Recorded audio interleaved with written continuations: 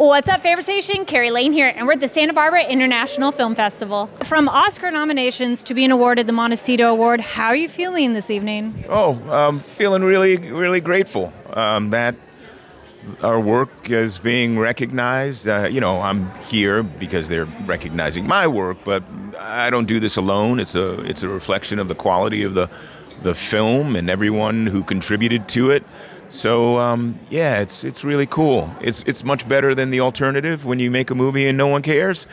so yeah, this is preferred. This is good. Yeah. And from working in genre films to essentially satire, what is that journey like for you as an actor? And do you have a preference?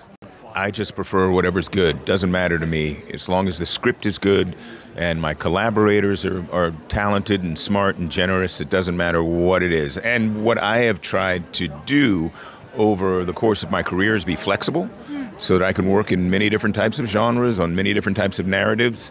Uh, it keeps me on my toes, um, you know, keeps me from, you know, getting too jaded. And uh, I, you know, so at the end of the day, is so long as it's good, you know, quality work.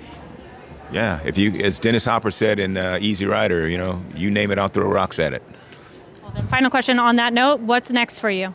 Next, uh, I got to go back to work uh, next month. Uh, can't say exactly what just yet, but as soon as I sign the details, you will be the first to know. Awesome. Well, thank you so much and congratulations. Thank you.